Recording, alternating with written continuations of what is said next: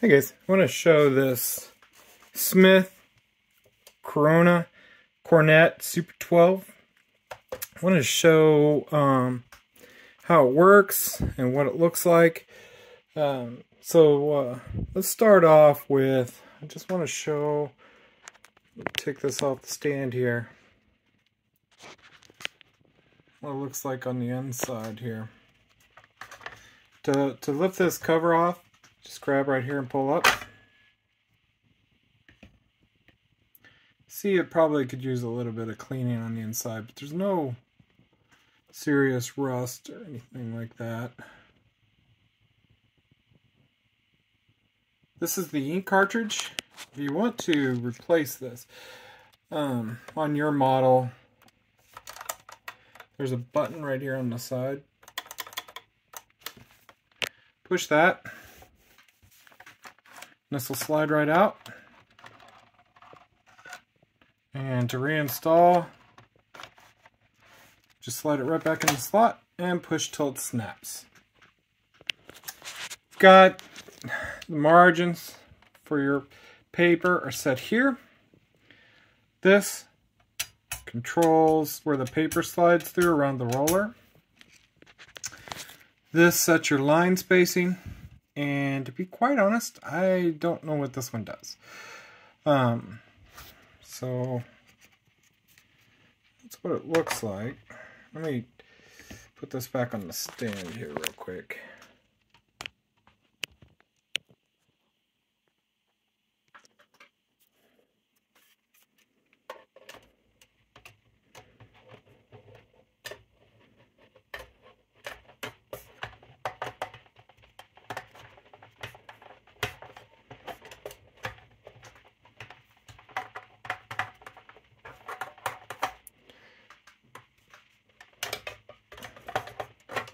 Trying to look through the through the phone screen that I'm taking this video on uh, to be able to see this. There's basically a, a little pin here that fits into a hole. This cover has a little pin that slides down into that hole and then it snaps closed. Okay, so I already have my margin set up. So this little piece right here, you put your paper up against it. Now this guide here, you have to lift this up.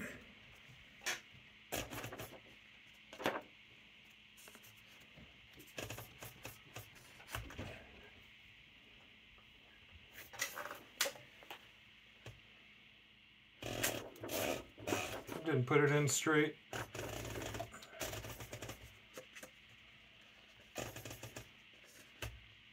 There we go. Okay, um, so the other slides is the other uh, pieces of this. This lets your tray move back and forth. Either of these two black tabs here.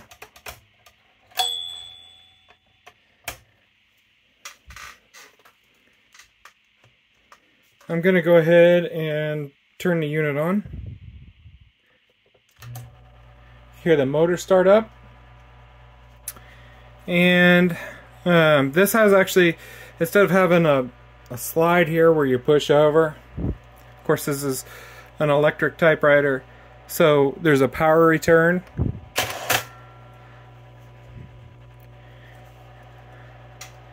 And uh, I'll go ahead and type a sentence so you can see the action of it.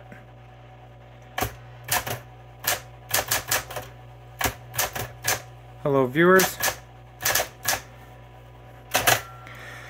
Thank you for watching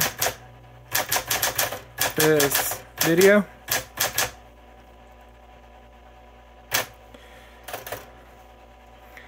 Hopefully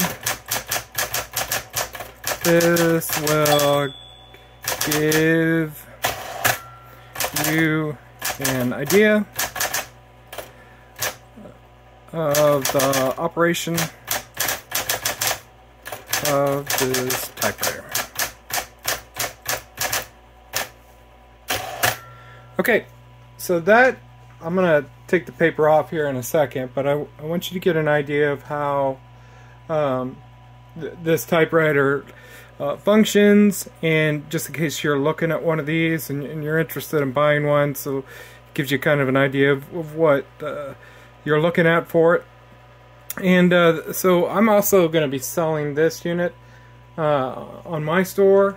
So but you know it may or may not be available by the time that you that you look at this video. So um, just for functionality purposes I'm going to go ahead and test all these keys. So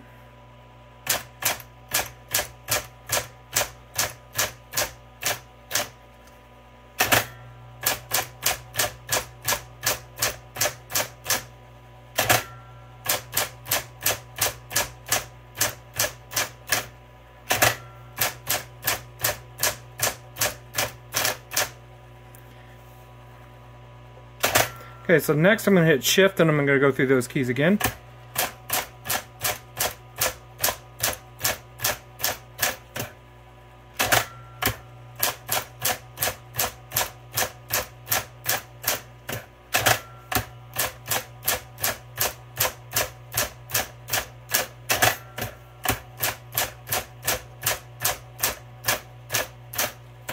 Okay, And then uh, at the end, oh, sorry for the shaking, um, I'll just type another sentence here.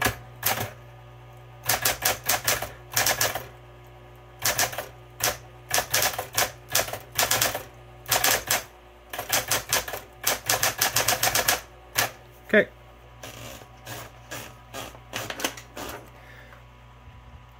So this is what it's going to look like, guys. Uh, if you end up are interested in this model of typewriter uh, and you want to get an idea of its functionality and, and what the, the typeset looks like, um, this is uh, this is kind of what it's going to look like. And I hope this answers any questions you have on uh, changing the ribbon. Um, a couple things to note: if you end up buying this unit uh, from me specifically there are a few things that I want you to be aware of. Um, when shipping this unit, uh, it will come with a plastic case. There's a little bit of damage to this case. If you see right here, some of the seam is split on the corner. Um, so it will have a plastic case that comes, and you'll see that in the, the photos. The next thing I want you to be aware of, as far as when when you ship this, I'm going to put rubber bands around these to this slide here, so this can move freely and shipping. It doesn't, if it's locked and it, uh, you know, the during shipping it bangs back and forth, it's going to keep there and continue to bang on this. I'll, I'll, have rubber bands around this so it can move a little bit freely.